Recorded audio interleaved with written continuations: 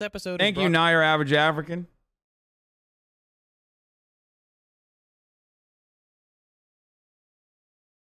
You pay your mods for this shit? Not your average African's not even a mod. What are you talking about? to you by Curiosity Stream. Get free access to Nebula. He's not VIP? By all your favorite I don't know. Is he? Is he not VIP?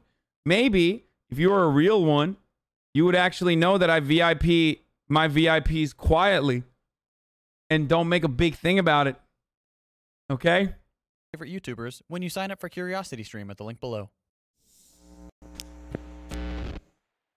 Imagine for a moment a society in which every human is afforded the basics of life a reasonable income, a place to live, there's plenty of food and other necessities for everyone. Competition over scarce materials is no longer necessary. This stage of progress is called post scarcity. If you've ever seen more and more jobs being performed more quickly and cheaply by machines, it just might become a necessity in the coming decades. In this episode, we're going to look at some examples of UBI trials in the real world and discuss whether universal basic income might be the future. When talking about seemingly crazy economic plans like UBI, a lot of people's first reaction is one of disbelief. Wait, just give everyone money? That's crazy. Or, but humans need to work. What else will we do? These are both very understandable objections at face value. But let's explore a bit further. Why do we think giving people enough money to survive is crazy? If we as a society have the resources to provide a secure financial floor, essentially eliminating poverty and the societal problems that come with it, why wouldn't we do it? I'm sure the knee jerk response would be because it's expensive, and that's a fair assessment.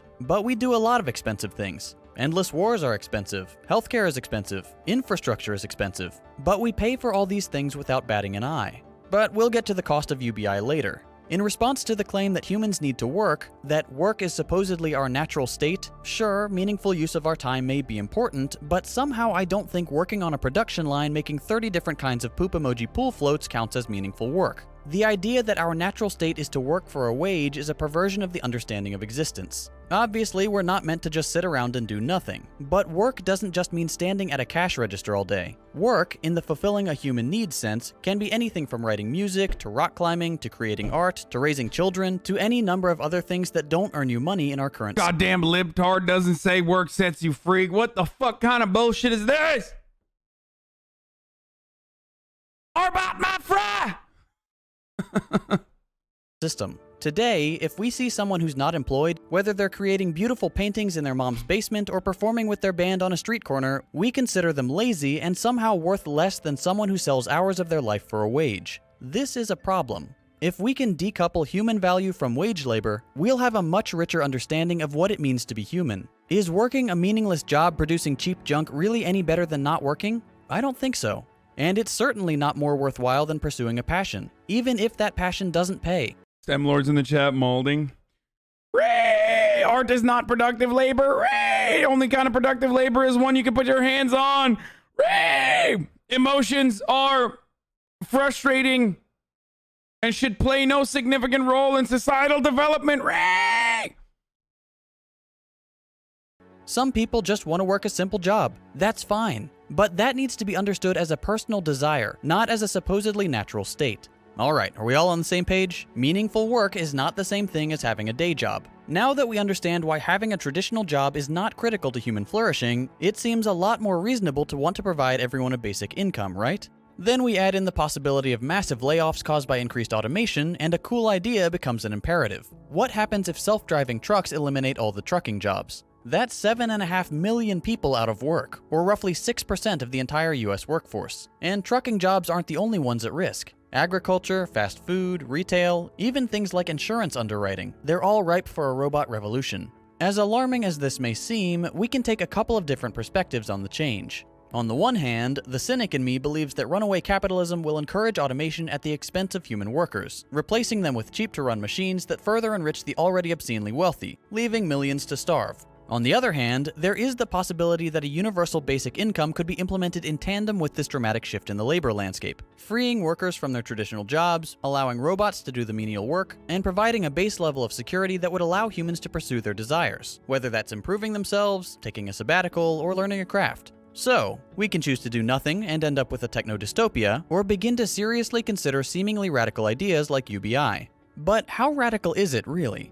Believe it or not, the notion of providing a basic standard of living to a population has been around since at least the 16th century. Since that time, UBI has earned the support of people from all across the political spectrum, from rabid free market enthusiasts like Milton Friedman, to proto socialist revolutionaries like Thomas Paine, to Martin Luther King, to, most recently, Democratic presidential hopeful Andrew Yang. It's not often that an idea gets the support of such a philosophically diverse bunch of people. Of course, opponents of UBI also come from across. This is why I always say that UBI can either be a, a great idea or even a necessity if you want to continue capitalism with like band aids, or a devastating concept that exclusively centers around the destruction of the welfare state. across the political landscape. Let's have a look at some of the arguments leveled against universal basic income. First and foremost is the claim that giving people, quote, free money will make them lazy and disincentivize work. This is the same accusation that's used when discussing Also, no matter what, it is literally a band aid, regardless. It is just a band aid.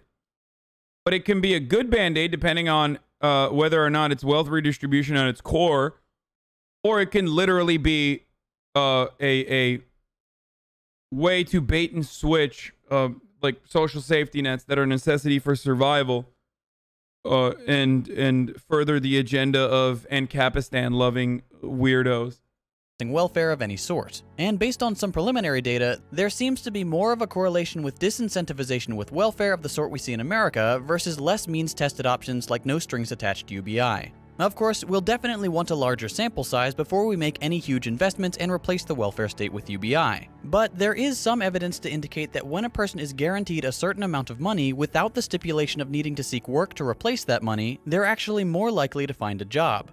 You're probably thinking, wait, that doesn't make any sense. Think about it like this.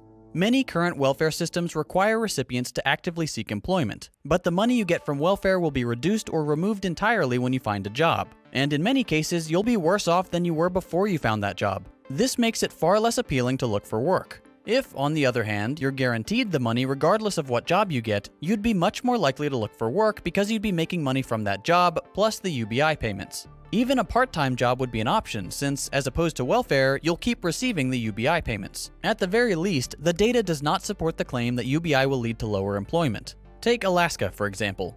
The Alaska Permanent Fund has provided each Alaska resident an annual check simply for existing. This money comes from revenue derived from the oil industry, and low key this should be this should be um, a national this should be implemented at the national level.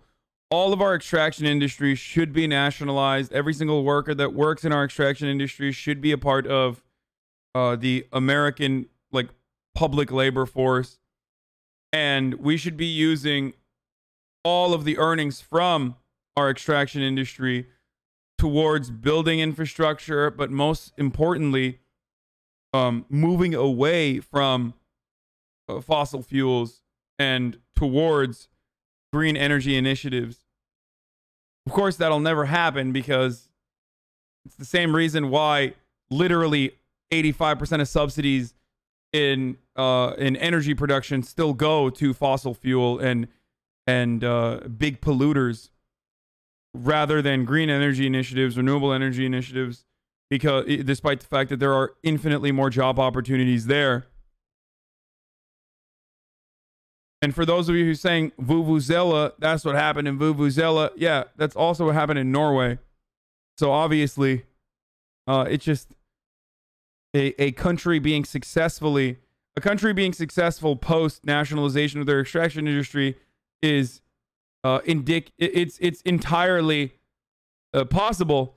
It just only exists if America doesn't decide to cast you away as a pariah from the rest of the global uh, markets, and in some instances, literally threaten uh, foreign capital from entering your country. No, it's just because Norway's population is so small. Yeah, that's that's what it is and is usually around one to two thousand dollars. Economists determined that these payments have had no effect on employment, but have effectively reduced extreme poverty. A recently concluded study in Finland reported similar results. Recipients were no more or less likely to seek work, but reported improved happiness and reduced levels of stress. One of the largest UBI programs currently running, and the only one implemented at a national Lol, pretending nationalization is the same as socialization. What what's the problem?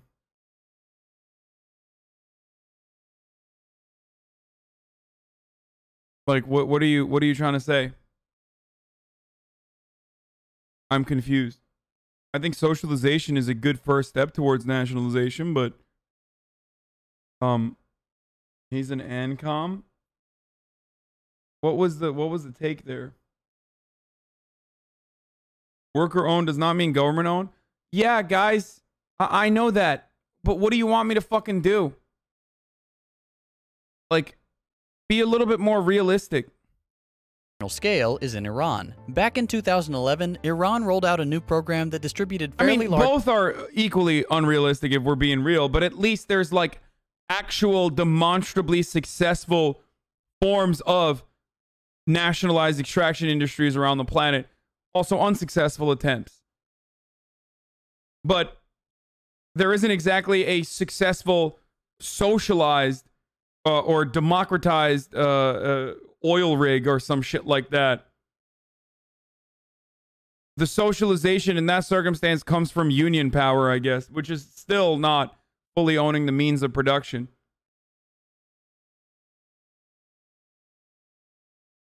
Large monthly payments to families in order to replace the phased out subsidies for electricity, fuel, heating, water, and bread. These payments originally averaged roughly 29% of each family's income, a significant amount, and have been scaled back in recent years. But again, economists found that the monthly payments did not affect employment numbers. We've seen similar results around the world, from Kenya to India to Namibia, and in each location the UBI payments did not affect employment, but did increase mental and physical well-being, reduce poverty-related crime, and increase school attendance. The other main argument against universal basic income is that it would be too expensive and difficult to implement. This is a serious concern. Estimates for establishing UBI in the United States vary, but they're generally in the trillions of dollars. That's a lot of money. Some opponents of UBI will say that money is wasted, or it's simply not feasible. Others, including many of my fellow socialists, will say that UBI won't fix the inherent problems of the capitalist system, and that it would sap resources from other pressing needs, like implementing universal healthcare. Whereas the concern that UBI would disincentivize work can be pretty well dismissed at this point, the cost and efficacy concerns deserve some real attention. There are ways we could reduce the complexity of implementing UBI, like skipping the means testing entirely and just giving every single adult a flat payment, then taxing the very wealthy at a higher rate to recoup that money. Yup. But we can't ignore the giant multi-trillion dollar price tag. Really, it comes down to evaluating our priorities. Are robots suddenly going to take all the jobs? No.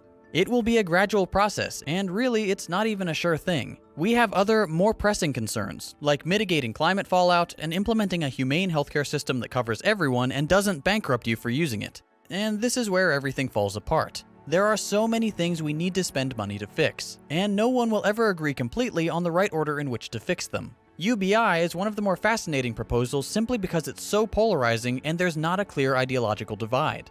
Maybe that's a good sign, maybe not. Whatever the future holds for UBI, I think it's an ideal we can all aspire to. A society where human value is not derived from selling hours of your life for a wage, where people can pursue their passions and produce beautiful things to share with the world, where everyone can afford the necessities of life and poverty has become a thing of the past. We'll debate the means of achieving this goal for years to come, but at least it's a goal we can all share. If you've seen my last few videos, you'll have noticed that YouTube has been demonetizing a lot of them. That's why some of my creator friends and I teamed up to build Nebula, a streaming platform built by and for YouTubers like me, so we don't have to worry about demonetization. Since Nebula is all about creating thoughtful content, Good video. I think it's important. It's This a good way to video is bu- radicalize some of the Yang gangers, even though they hold very little political power, no political power at all. But I don't really have a problem with these sorts of. Hey, buddy, you're finally awake. You hit your head. Here's your 60k bill. This is America. Law. Get fucked. 60k. Wait, what? What? What is that? That's communism, dude. Sixty thousand dollars only. That's pretty cheap, brother. Uh, nice, nice, fun little meme where you're in a utopian communist society, I guess, where you only get away with a sixty thousand dollar bill from the hospital.